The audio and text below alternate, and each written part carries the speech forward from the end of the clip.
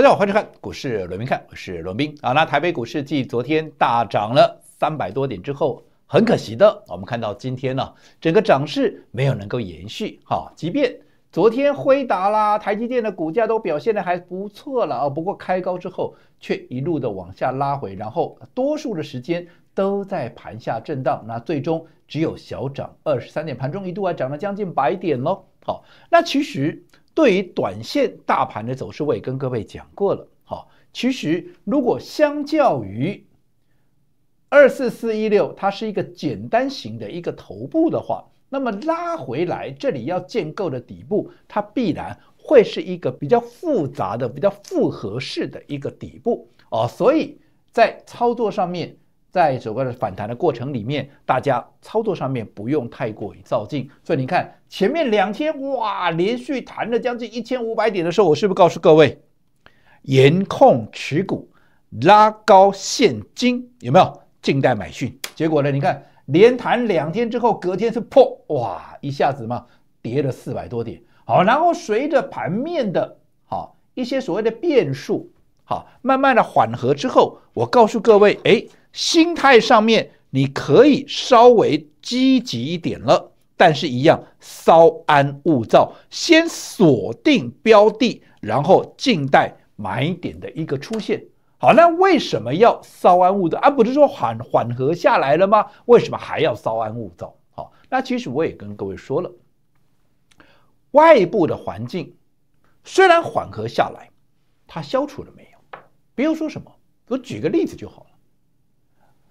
以色列跟伊朗之间的关系，原本说要上谈判桌，哎，结果呢，以色列莫名其妙又去杀了一个人，啊，那在这种情况之下，现在大家又很担心，那伊朗怎么样？会不会随时会发动？会不会发动？我们不知道，这个就是一个变数，变数还在。虽然有缓和了，因为伊朗也讲说他在考虑，可是考虑并不代表一定啊，哦，所以在这种情况之下，我说变数有缓和，可是并没有消除。再者，国内。还有一个重头戏，对不对？当时要公布七月的营收，而且这个礼拜出的七月的营收还有什么？还有第二季的季报。那你想嘛，又要公布营收啊，又要公布季报，那这些双重的一个所谓的一个交互的一个影响，是不是就个别股票它会出现震荡，大盘自然也容易出现震荡嘛？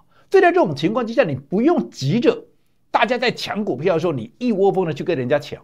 你先锁定标的，等到这些营收的数字、季报的数字它比较明朗之后，最重要的，在震荡的过程里面，如果有适合的买点，我们逢低再来买，是不是你的胜算更大？我举个例子，你就更清楚了。来，我说过近期啊，我们要锁定的标的是什么？一边被错杀。被低估的股票，哪些是被错杀、是被低估的？明明不干他的事情，结果因为国际间的动荡，各位也知道嘛？国际间的动荡包含我们刚刚所讲的啊，这个所谓的伊朗。跟啊这个以色列的冲突以外，还有什么？还有包含像美国的 AI 股价的一个拉回啦，这个辉达的一个 GB 两百制成的一个可能有一些瑕疵啦，甚至于啊可能美国的一个景气会不会硬着陆等等等等。那这些其实讲出来让别人的事情，哎，让让大卫代机啊，比让大卫代机啊，对不对？所以你只要你这个主曲，你这个题材是不跟这些有关系的，照说你的股价是不应该被影响。可是它居然还是被影响了，这叫什么啊？这叫被错杀嘛？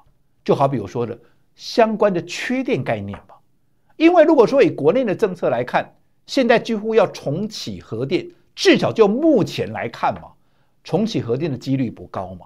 那如果重启核电的几率不高，这整个缺电的相关的题材跟概念，是不是趋势就非常明？至少在未来的四年，它的趋势就非常明确嘛。那这个也不会。因为国际间的动荡而出现了怎么样的一个影响？可是偏偏它的股价也受影响了。所以我说，像这样的一个股票，其实它就是趋势明确，它就是被错杀的。那如果这个时候在季报公布也好，又或者营收公布，股价有出现波动，那我认为那就是更大的一个机会了。例如说，来今天这张股票，哇，一跌下来吓死人了。中心店一跌下来跌停板，有没有？一开盘莫名其妙跌停板，但你看，像这种莫名其妙一开下来，哎，好股票哎，对不对？啊，就是因为公布的季报、公布的营收出现了这样的一个波动啊，是不是机会？你自己看嘛。如果一开盘你这边敢买的，你至少今天它收敛，变成只有跌半根呢，它没有涨，它还是跌哦。但是如果说你买的够低的，你今天是不是赚半根了？有没有？那除了这个以外，我昨天有一档股票，我花了特别久的时间跟各位讲，我说中心店、华晨我都看好。但是同样一个族群，各位都知道我要选什么？我要选空间最大的，因为空间最大，你才能够赚最多嘛。那怎么样能够空间最大？你的位阶要相对低嘛。所以当时忘记的，我欢迎你回去看看我昨天的视频。在整个缺电的概念，我只有独尊一档股票，叫做什么？叫做六九哈六八六九的云豹能源。为什么我独尊云豹能源？来，没有错，前面云豹能源从一百块涨到三百块，有没有？从这里将近一百块，有没有涨到三百块？它也有累积的相当的一个涨幅了。你说，哎，已经涨了一倍两倍，难道位阶低吗？我要告诉各位的是，所谓的位阶低，那位阶的高或低，并不代表。好，并不表示说就从它绝对的低档到高点它涨了多少，而是同样的一个概念，啊，同样的一个概念，人家涨了多少，我涨了多少。如果人家涨了十倍，啊，我只有涨两倍，是不是代表我的位阶就低？同样的概念，我举机器人，记不记得当时大家在追所罗门，在追罗生的时候，为什么要带着各位买昆盈？为什么？不是昆盈没有涨哎。而是昆影它涨得比人家少很多嘛，所以当时你看我们买了昆影以后，我们做了两趟三趟，有没有都大获全胜，对不对？反而是先前已经涨高的这些罗生啦，又或者所罗门，反而在那边停看听，在那边原地踏步了。这个就是一个道理，一样嘛。你看来华城涨多少你自己看，你自己看嘛，有没有？光今年至少涨了五倍六倍了。那相较之下，如果说云豹它只有涨两倍，甚至于两倍不到，它是不是位阶就相对低？更何况还不是，如果论以三百三来算，它当然相对涨两倍。它是从三百多一路又跌到了一百多块，哎，现在你说今天跌停板是不是又回到一字头？是不是又回到了几乎是没有涨的一个位置？那你认为这是不是被错杀？这是不是被低估，所以我说像这样的股票一打下来，趁着利空也好，趁着季报营收打下来，你看你敢买的来收在平盘了，几乎收在平盘了。你低档敢买的，你今天是不是？它还是跌哦，它跌一块半哦，但是相对的，你是不是赚了一根？几乎赚了一根涨停板所以我是不是告诉各位，稍安勿躁，稍安勿躁。我看好的股票，我不会急着去追。我是不是我们静待买点？静待买点，为什么？因为这两天它股价就是会波动嘛，对不对？好，所以我们要锁定的就是这些被错杀、被低估的。那哪些还有哪些是被错杀、被低估的？除了整个重电相关以外，其实你说那近期 AI 啊，特别包含像这个辉达的股价波动，我也跟过去也跟各位讲过了。辉达纵使它现在在做它未接的一个调整，涨多了修正是天经地义啊。但是会不会因为哇那股价辉达修正了三十趴，所以 AI 啊就不涨了，或者说整个 AI 的趋势就改变了？会不会？不会嘛？因为 AI 所衍生出来的它的应用范围非常的广嘛。你不要说什么机器人是不是也是用 AI 衍生出来的？好，那讲到机器人，当然今天也非常的一个强嘛。对不对？刚刚我们也提到嘛，像昆盈有没有？那你看，讲到机器人，你会想到谁？一样嘛，所罗门嘛，一样嘛，罗生嘛。还有就是后来我们昆盈已经大赚了两三趟之后，大家又开始来追昆盈，所以你会想到就这些嘛。啊，这些是不是好股票？都是好股票。但是我说这一个明确的趋势之下，在同样的题材，我要的是什么？我要的是空间最大。都是好股票，不管所罗门，不管昆盈，不管罗生等等等等，融合股票了。但是我要的是空间最大的，什么样能够空间最大？你位阶最低嘛，对不对？你的获利数字最漂亮嘛。所以，纵使我们刚刚讲的什么昆盈啦、罗生啦啊，什么啊所罗门都是好股票，可是我要的是现在比较少人讲，甚至是没有人在讲。没有人在讲的股票，除了筹码干净，是位阶相对也低。所以我们买了什么？今天我一直告诉各位，你看到昨天为止，我还告诉各位，稍安勿躁，稍安勿躁，静待买点。什么买点？当股价有拉回的时候，就是买点嘛。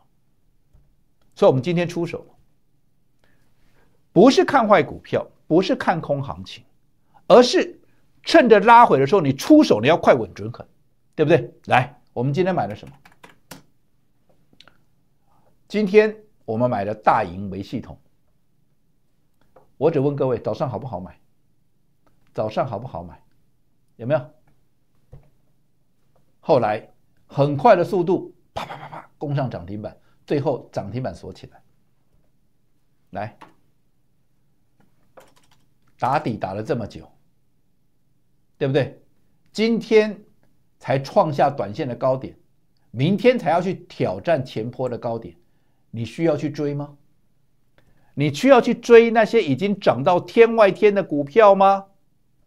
对不对？而且早上逢低买，今天这一根涨停板是不是扎扎实实？需要去追涨停板门口吗？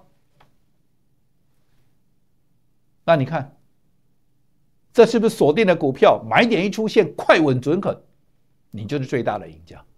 除了大盈维系统以外，还有什么？来，我们再看，隐汉，早上是不是一样有低点？有没有？有没有？有没有？啊，有没有？也是锁起来。啊，这是什么？啊，这不就机器人吗？啊，隐汉也好，还有大盈维系统也好。当然，今天涨停可能开始陆陆续续有人讲了。前面有谁在跟你讲这些股票？讲到机器人，你会想到了还是所罗门，还是？昆盈还是什么？还是罗生这些啊？但是我说我们要的，不是这些股票就不好，都是好股票。可是我要的是空间最大，涨最快的。所以我的标的就是跟人家不一样。你说为什么要买隐汉？很简单嘛，来，你看，去年还是亏损哦，去年亏损哦，今年第一季季报出来。从原本亏零点九二，已经变亏零点一八，是不是很明显的？它的一个好所谓的亏损的一个幅度已经大幅的收敛，代表它的获利的一个营运的一个结构，获利的结构已经大幅的改善。最重要的，我们要看的是什么？我说最新的是七月的营收，为什么七月的营收很重要？因为它是下半年的第一个月份。好，下半年的第一个月份，尤其对很多的科技类股来讲，它更是进入旺季的第一个所谓的一个财报、一个成绩单了。所以，如果说你看来七千九百万零点七九亿，有没有创新高？有没有创新高？除了年月双增以外，还创新高，而且你看这个月增还将近百分之六十五，哎，这代表什么？除了上半年的。上半年的一个营运比去年要大幅改善以外，甚至于到了下半年业绩会飞出去，那股价来一样，有没有？整理了这么久，整理了这么久，而且相较于其他的机器人涨翻天，有没有？它的位阶也是来的相对低。那在这种情况之下，你买这样的股票，有数字。位阶又低，今天拉出涨停板，而且在很快的速度拉出涨停板，一点都不奇怪啊！所以，我为什么前一段时间一直要各位稍安勿躁，稍安勿躁？为什么？我们要等待买点，等待什么样的买点？就等待类似像这样的股票，有没有？像这样的股票的一个好的买点吗？这个就是我们的一个操作。我说做股票不用急。看准了再出手，一出手就是快稳准狠，有没有？我告诉各位，随着季报，随着七月营收陆陆续续的揭露完之后，类似像这样的股票被错杀、被低估的股票，可是偏偏未来空间会很大的股票，还会一档一档的蹦出来。继今天的大盈维系统，继今天的隐汉之后，我告诉各位，明天还有这一档，我认为它也具备了大盈维跟隐汉的一个特质，甚至于它还会后发先至，因为这两档今天已经出去了嘛，它这一档还没动，但是为什么还没动？我告诉各位，为什么我说它会后发先至？我这样说好了。现在不是陆陆续续在公布季报吗？我偷偷的告诉你，他第二季的季报，注意听哦，要做笔记的赶快把它做下来。他第二季的季报比第一季成长超过百分之一百。讲的白话一点，他第二季的获利比第一季超过一倍以上的成长，超过一倍以上的成长。光是这个数字。你认为它该不该涨？难道只有这样子吗？没有，还有，除了第二季的计划，毕竟第二季的计划那是上半年的事情，上半年就已经飞出去了。那我再告诉你，那下半年一样吗？我们刚讲隐含的时候，会告诉你，七月的营收是下半年营收的第一个月，它的代表性非常的高，至少就业内法人来看，都是看七月营收。如果说它七月营收会飞出去的话，那么通常代表它下半年的业绩也会非常的好看，往往业内法人所锁定的会狂买狂喷的股票就是这种标的。那我再偷偷的告诉各位，除了第二季的季报比第一季成长超过一倍以上，这张股票七月份的营收历史新高，历史新高了，是不是代表下半年的业绩持续在成长？第二季的季报已经飞出去了，比第一季成长了一倍喽以上。下半年还继续喷。整体来讲，第二季的季报公布完之后，是不是整个上半年的业绩都知道了？它上半年的业绩比去年一整年几乎已经快要一样了了，几乎已经快要追上它去年一整年的获利了。那下半年又比上半年要更加的成长。投资朋友，你认为这样的股票它会不会喷出去？那一样哦，它还没有喷出去哦，而且都还在相对位阶比较低的一个低档区底部区哦。那这样的股票，你要不要趁着第一时间？我认为明天就会有一个好的买点。像这样的标的，你要不要第一时间跟上我们那个操作？好，所以要怎么样跟上？当然，第一步加入我们股市罗宾汉来 at 的官方账号，不管你用。扫描 Q R code 也好，又或者输入 I D 也好，输入 I D 我还是温馨的再提醒，前面记得打小老鼠，否则跑到诈骗集团那边去了。然后输入完加入到这个官方账号之后，还没有结束，来注意了，记得在我们的对话视窗啊，在我们对话视窗留下你的联络方式来做一个登记。当明天买点一到，我带着会员大军开始买进的时候，也会带着各位。做同样的动作，我们一起来掌握最佳的买点。所以还没有加入的，先加入到账号里面，记得再留下你的联络方式。那明天这一档标的，我们进场的时候，你也可以同步的跟上我们的操作。也祝大家操作顺利。